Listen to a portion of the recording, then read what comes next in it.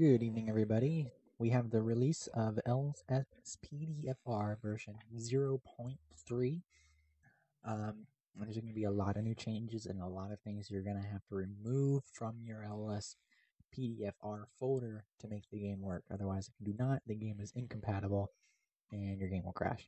So basically, what you're going to need to do is you click on this little download now. You go into here and this is going to be everything that's new. Uh, new police garage. Uh, police garage, you can select new vehicle, pursuits, all sorts of crazy stuff you can change and modify. And there's also, yeah, just look at that, read that, because there's a lot of new things, crazy new things in the game.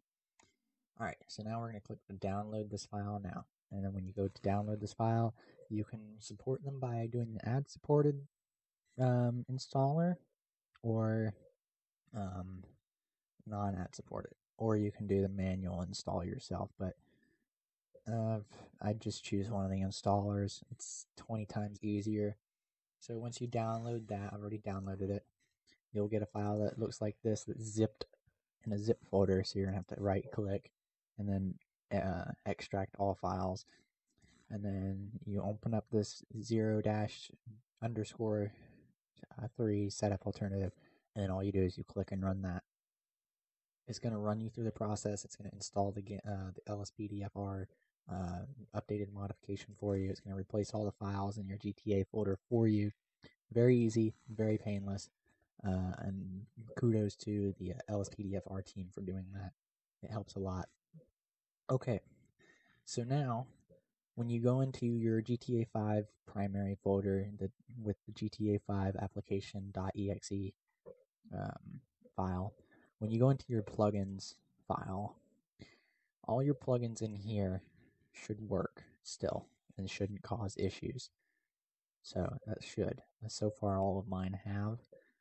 So, but here's the problem: when you go into LSPDFR, any of the plugins you had in here will cause issues. So see, these are all the plugins I had in that LSPDFR folder. And these are mostly just callouts. So until that callout is updated, you're gonna have to remove it from that folder. For me, what I did to remember everything I have is I just highlighted and drug it into another folder I created on my desktop. That way I can remember all the files I have and it's that way I can go look them up as I wish to see if they're updated.